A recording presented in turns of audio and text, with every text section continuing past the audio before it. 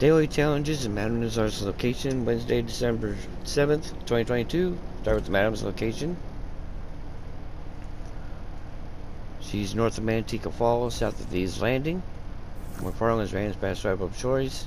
Take the tracks east, take you right to her. Now the dailies.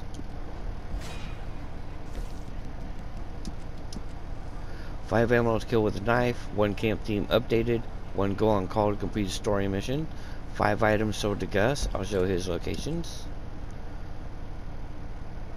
Starting right over here, tall trees, Paul Print.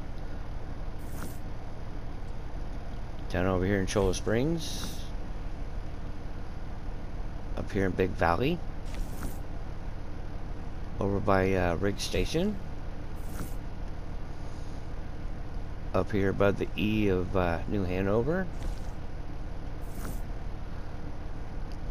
And down here in uh, Saint Denis by the last S.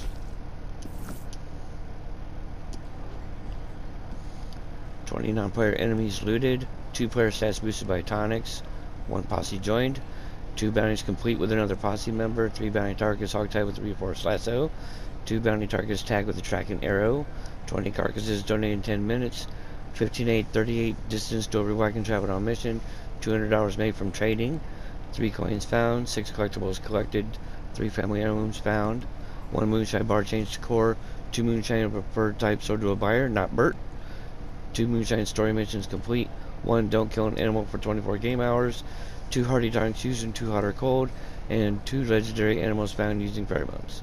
That's it for today's challenges, everyone. Stay safe, happy, and healthy, and I'll see y'all later. Bye, everyone. Gotta press the right button.